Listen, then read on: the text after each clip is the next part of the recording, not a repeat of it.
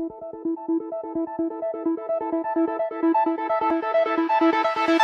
you.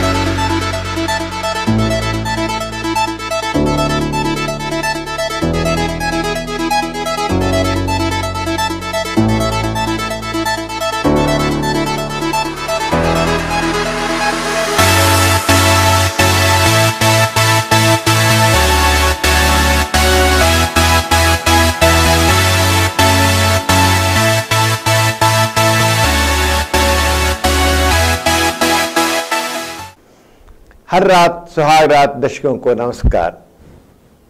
Doctor जी दिन के समय लैंगिक संसर्ग करने पर पैदा होने वाले बच्चा दुष्ट बनेगा क्या ये सच है? लैंगिक इच्छा होने से वह दिन है रात है उसे कोई भी संबंध नहीं। मनुष्य कभी भी मिल सकते हैं। दिन में भी लैंगिक संसर्ग में भाग ले सकते हैं रात में भाग सकते हैं सुबह को भाग सकते हैं, शाम को भाग ले सकते हैं, कभी भी भाग ले सकते हैं। कुछ लोग समझते हैं, दिन के समय लैंगिक संसर्ग में भाग लेने से यदि महिला उस समय गर्भधान करेगी तो उसको पैदा होने वाला बच्चा दुष्ट बन जाएगा।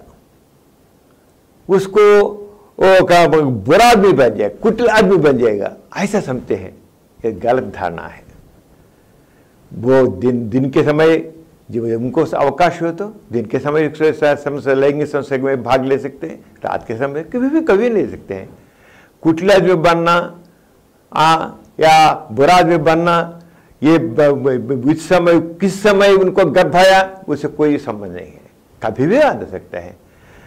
महिलाओं में मैं एक महीने में मेंस्ट्रुअल पीरियड के मेंस्ट्रुअल का पीरियड होता है ट्वेंटी एट डेज़ या थर्टी डेज़ इस एक महीने में एक ही बार एक अंडा निकलता है। वह दिन में भी निकल सकता है या रात को भी हो सकता है। एक बार अंडा, अंड निकलने के बाद शुक्राणु से मिलने का समय केवल 12 घंटे या 24 घंटे हो उससे बढ़कर नहीं होगा। इसे कभी भी मिल कभी कभी ये अंड महिला में दिन के समय होता है। कुछ समय रात के समय, कभी भी रात के नहीं होता। कुछ दिन कर दिन में भी हो सकता है। इसलिए महिला कभी भी लैंगिक संसर्ग में दिन में ही या रात में कभी पसे, लेकिन एक बच्चा कुटिल आदमी, बुरा आदमी, दुष्ट आदमी बन, बनना है तो उसका कान है, उसका ब्राटअप उसका पालन किस कहते उसको कैसे माता पिता कैसे उसको ब्राटअप करते हैं। इसे ऐसा नहीं और का कुछ लोगों के लिए तो कुछ साइकोलॉजिकल डिस्टर्बेंस होता है। इसलिए कुटिल आदमी का बनना संस्कार पर है। सभ्यता, संस्कार तो हम बोलते हैं, उसके संबंध है।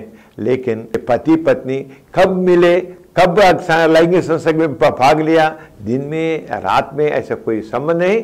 ये सब केवल एक आदमी, बुरा आदमी बनना केवल उसके संस्कार पर होता है, ब्राटअप पर होता है, कुछ नहीं। नमस्कार फिर मिलेंगे For more videos, please subscribe to this channel and activate the bell icon.